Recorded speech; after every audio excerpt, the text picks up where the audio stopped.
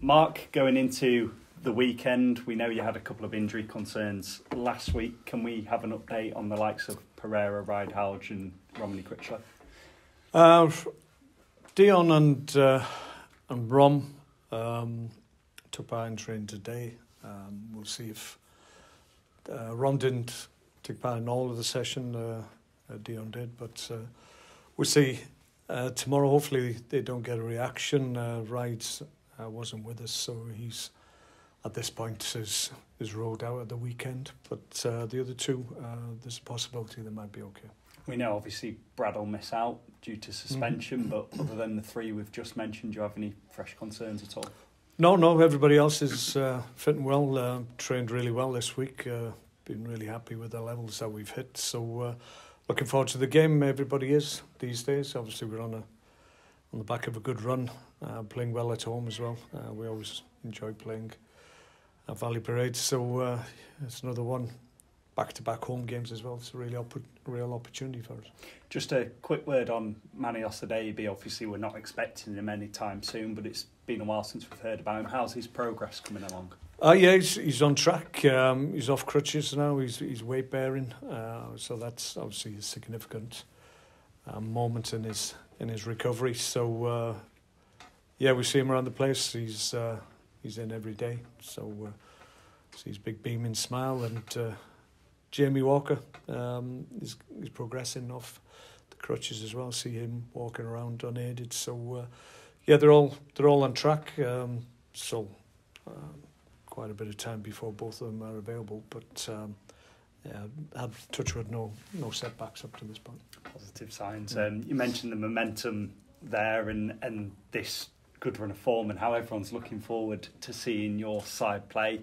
Although we're still early on in the season, just how key is you just keep building that momentum and taking it as it comes.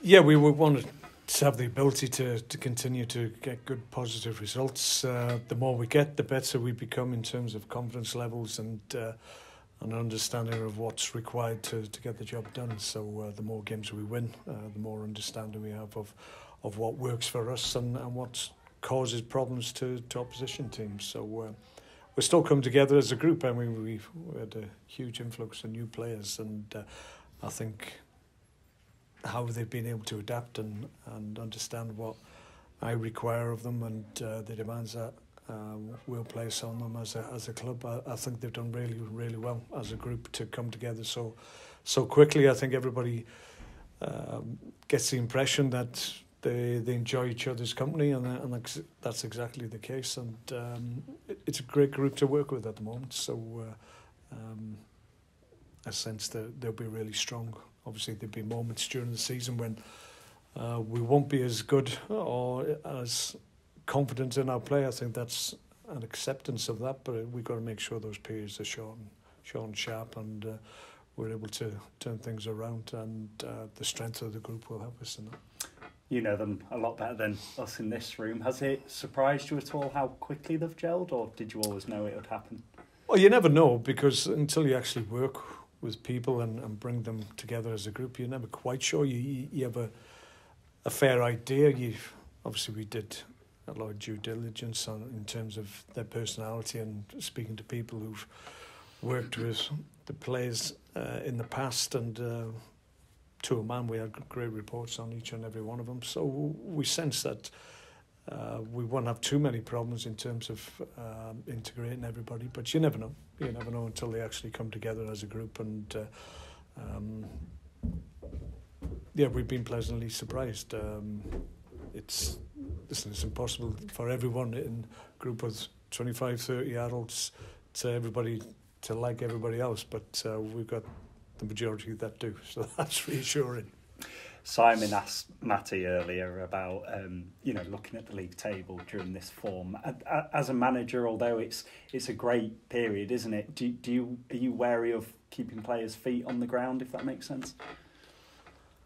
Um, No, I think we've got to celebrate uh, wins and, and playing well. I think that's important. I think uh, you should always do that, uh, and that's what we do. But we don't get ahead of ourselves. We know there's a, a huge amount of work that we have to go through before we can achieve anything this year. So um, we're we're celebrating when we win. We we enjoy winning, um, but we understand that. Uh, there's a lot of hard work that has to go into to enable us to sustain it, sustain that winning feeling for the whole of the season. So uh, we're not under no apprehension that um, it's huge task ahead of us, but we're capable of uh, of doing it. Uh, I think we all feel that, certainly in this period when we're playing confidently. Richie Smallwood was one of the faces that obviously came into the club, and there was some people questioned, you know, playing at a higher level, how quickly will he adapt to playing in League Two? And the last few weeks, he's really put some shifts in, hasn't he? How how impressed have you been with Richie so far? Uh, really, really impressed. Uh, not only in his general play, but his uh, his obviously his his leadership qualities, which we we wanted to bring to the club as well. He's uh, embraced the captaincy as we knew he would, and uh, and he's made a real uh, difference in terms of obviously bringing the group together, which we needed from him because, as we've already mentioned, lots of new faces coming into a new group, and we need somebody to just pull that all together. And um, he's done a great job in that regard. Uh, off the field and his and his work on the field is exceptional at the moment as well. So um, yeah, we're pleased. Um, you, mentioned that people question whether or not you'd be able to play at a different level. Um, I had no worries in terms of that. Uh, he's a quality player. He's he's used to having responsibility uh, on his shoulders and uh, playing and carrying that responsibility. And um, he hasn't surprised me at all. Um, he's exactly what I hoped he would be. He's certainly got a lot of praise from uh, another former City captain in Gary Jones when he's alongside us. On on leaders, there's there's obviously Rich, and we, we've heard what you've said about that. Do, do you feel you've got leaders all around the squad in the dressing room? Yeah, I think it's uh, becoming more evident. Um, some will be more vocal and, and lead that way, but others are, we've got a lot that lead by example, and um, that's a good thing. I think the group now, whoever comes into the first 11, the, the starting 11, um, knows that they've got a challenge because there's good quality in the group, but uh, I think that's that's a challenge good players take on board and uh, and run with because that enables them to be uh, playing at a higher level uh, because they know they've got quality behind and um, the leadership that you need to show is not just uh, on the shoulders of the captain it's on on everybody's shoulders we, we've got to recognize and and understand when things go against us sometimes in games that that's when leadership comes to the fore and it's it's not a case of just having one leader. We have to have everybody leading uh, at any given time when it when required. And I sense that's building now. We're, we're getting more of that uh, as players get to know each other and, and understand what what's required. And um, I'm really pleased with that aspect, uh, how it's growing. Uh, I think along with everything else we're doing, that, that leadership within the group is, is really strong back to Saturday and another home game. We know how much you enjoy them, Mark. Mm-hmm. Wimbledon coming to town obviously had a really difficult season last season, not started as well as they maybe would have hoped. Only a couple of wins in the league so far. It's, I guess, for you, it's a great chance to keep that winning run going, really. Well, it's, it's important for us. Um, obviously, another home game on the back of a really strong performance last time out. So. Uh, uh, I suspect it will be a different challenge because they play in a different way. Um, try and, and play and, and progress up the field, um, predominantly with good movement and good passing, and uh, so it's different different scenario that we're facing. But that's what League Two uh, throws at you. Um, any given Saturday, you can be up against a completely different formation and, and approach. So um, that's the challenge to us that we're able to adapt and make sure that our play is consistent and enables us to win the game. and Johnny Jackson, your opposite number on Saturday, early in his manager career, but spent time at Charlton, which is a big club within itself. Do, do you know Johnny at all? Have you come across? Not personally, Johnny? no, no, but uh, obviously he's uh, he's progressing well in his in his managerial career, and that tells you that clubs have confidence in, in his ability when they've worked with him, so that enables him to continue to get jobs. So. Um, yeah, there's there's a lot of good young coaches that are finding their way at this level, and uh, usually they throw up things that uh, maybe you don't see on a regular basis, just because they they have that um, I know willingness or freedom to do that, but uh, sometimes that gets taken out of you quite readily if you start losing games. So you got to be a little bit more pragmatic. But uh, um, he wants his teams to play in a certain way, and that's credit to him. Thanks for your time. No problem. When you're looking at a, a team at the, the stage you are at the moment in the season, and obviously you've got a big squad, and nobody wants to see anyone get injured, but this is the chance now for players to to get their chance in, in the team, isn't it? Well, yeah, we we will lose. I've always said at the beginning of the season that this is the reason why we've got a big squad because we know through the course of the year we will drop players uh, out of the team because of injuries, suspensions, uh, and the like. That's that's a given. So uh, what we've got, we feel this year is real strength. That uh, when we do lose players, then players coming in are of the similar stature and uh, ability, and, and that enables us to to keep the strength in in that starting eleven. And um, I think it's it's a real advantage for us. I, I think in comparison, certainly from last year, I think it was more difficult to keep the, the level high if we lost key players out of the, the side. Uh, um, this year, I think everybody's seen that. I've changed things around and, and guys have come in, done well, gone out of the team again. Someone else has come in, done well. And I think it's just keeping everybody on their toes. Clearly, we've got a, a spine through the team now. We try and keep predominantly uh, sound and, and in position, but uh, for the most part, uh, certainly in attacking areas with the options we got, we can swap things around. We can um, introduce players later on in games, or we can start them. Um, they still are having impacts for us. So, uh, yeah, I'm pleased with the options I've got there must be something that you've seen throughout your career, not just as a player but also as a manager, that the amount of football that's now played, the squad has become far more important than the, the team almost.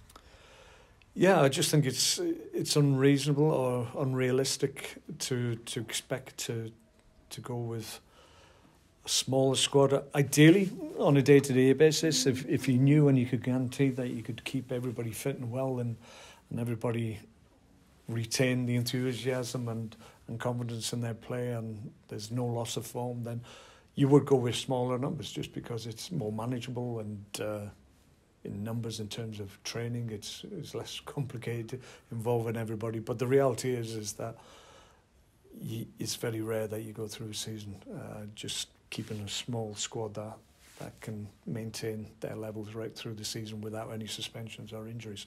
So that's why you've got to go with bigger numbers, and uh, that's what we we're doing. We've already lost key players to significant injuries already, and what are we? We're only nine, eight, nine games into the season, so um, it just backs up the point that I'm trying to make is that you're going to have to have a bigger squad to, to cope with that. Do you ever look ahead at fixtures that are coming up and think, I definitely want that player playing there, so I might rest him from this game? Yeah, I think I've done that. I think I've done that already. Certainly, uh, Ryan East and Scott Eubanks, I, I did that too in, in recent games. I, I think it's important that certainly the younger element of our squad is um, is not shielded from certain types of game. That that's the wrong. It just just we need at times to protect that confidence level that we built up with good performances and everybody who's I, I give the example of Eastleigh and Banksy, they've done really well. Um, but then we take them out and just make sure that um, any dip in form isn't a lasting one, it's just temporary and, and they get back to the levels very quickly. So uh, um, we'll continue to do that. I'll continue to mix things up. Clearly, we, we don't want to disrupt things too radically because that can have a detrimental effect on, on the team. But um, I certainly think uh, I can continue in the same vein. I think it, it'll help the players. I've been in squads, bigger squads, and uh, sometimes I didn't appreciate it as a player because most players work exceptionally hard during the week and they want an outlet for, for their efforts in the week. And if you're not giving them that outlet, then they can get frustrated. But certainly, even though I was disappointed when I wasn't playing, I, I knew I was ready to go a full tilt the very next opportunity. So uh, um, that's what the players have got to recognise and, and understand, and, uh, and I think they do, in fairness. Yes. You say, Mark, about obviously, you know, the, the, the, the leaders in the group and, and that, that, that mentality side. Also the fact that you've got players in there who've achieved, you know, Mm. won, one promotion, they've won things. Mm. Is that important as well? Because presumably they can sort of see the long, the long, the bigger picture sort of thing. Yeah, I think you're right uh, to highlight that. Yeah, we uh, we've got experience in, in terms of uh, promotion pu- pushes, and and I, I'm sure I, I'll tap into that uh, closer to the end of the season, where maybe hopefully. Uh, the intention is to be there at the end, and and we'll tap into the knowledge that the guys who've been there and done it, uh, what their experience was like, and what their recollection of in terms of what was important and what wasn't uh, at that time, and uh, we can use that knowledge, and, and we're seeing it on a daily basis even now with that it's it's important that we we do the right things, um, but it can be small margins, um, a little detail in, in games in preparation, uh, something might trigger something or a situation might trigger something in somebody's uh, mind who's who's been through a promotion season, and uh, that might help us further down the line. And also presumably we saw the younger players, the less experienced ones, others who, you know, if, if they have a little blip or they're, they're out the team or whatever, they can say, look, this happened to me in Yeah, 2019 absolutely. Yeah, you, yeah. I think I'm pleased with, with the mix of what we've got. We've got good experience. We've got guys who've, who've been at good levels and uh, experienced good moments in the game, but those guys have experienced negatives negatives uh, as well as some younger players that we have. Uh, probably it's just an upward curve at the moment. So um, yeah, there will come times where they'll get disappointed, but uh, that's football and that's a football career. It's not always uh, one trajectory. Uh, easy for me to say, but um, you got to go take the, the the highs and the lows and um, react accordingly. So uh, we've got good, like I said, touched on it already. Good leadership in the group and good senior lads that will get around younger players if they feel they're struggling with any aspect of the game. Not sure if you're one of these managers who divides the season into blocks, but obviously this is the 10th game. Should you win it, 20 points, averaging two points a game the first 10 games, is that is that sort of where you want to be, or was it ahead of schedule, do you think? Or? Well, I think we're we're comfortable where where we we are at the moment um, because of the amount of new faces and the amount of change in terms of the playing squad. But uh, uh, in the past, I've I've given points tallies. I've broken up season into more manageable bits, usually leading into international weeks. I'd I'd just see who we had and give guys uh, realistic points target, usually minimum requirements I used to give them. But I haven't done it on this occasion. Um, probably be a little bit unfair on them. So uh, moving forward, I might reintroduce it towards the end of the season. Who knows? Presumably, as you say, with, with so many players coming in, the, the sort of slowish start to the season was probably almost understandable to a degree because obviously there's a lot of players getting used to, Hmm. to playing Yeah, yeah. themselves. Yeah, and, uh, and they've, I think, just enjoyed the process of getting to know each other in turn on the field and, and off the field, and uh, and it's growing. We're, we're getting better. We're, we're we're a group now that enjoys each, each other's company and the, the way we we really behave. I think is is is good. I'm, I'm pleased with the characters in the group, and uh, yeah. Um, we've had a start that is understandable, uh, certainly in the opening few games, but now we're, we seem to be getting into our stride, so it's, it's important we try and continue that. And obviously, in terms of Wimbledon, got sort of Mr. Wimbledon alongside you, but presumably the, the club has completely changed in terms of personnel since since Glyn was there in 2020 21.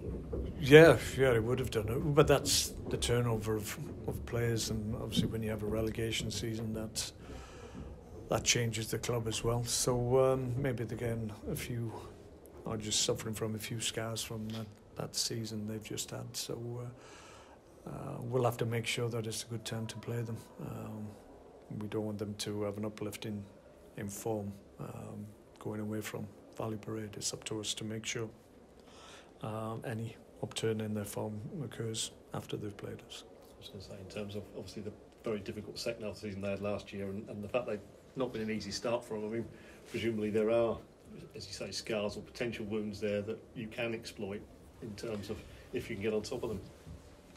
Yeah, I mean they, they would have preferred, obviously, clearly, and, and would have hoped for a, for a better start to the season, given they've they've come down from a, a higher level. But um, it's difficult. League Two is is not a cakewalk. It's uh, there's good teams, strong teams, physical teams, technical teams. There's, there's everything in, in League Two, and uh, you got to face every challenge head on. And um, as soon as you, the sooner you get to grips with that, the, the better for yourself.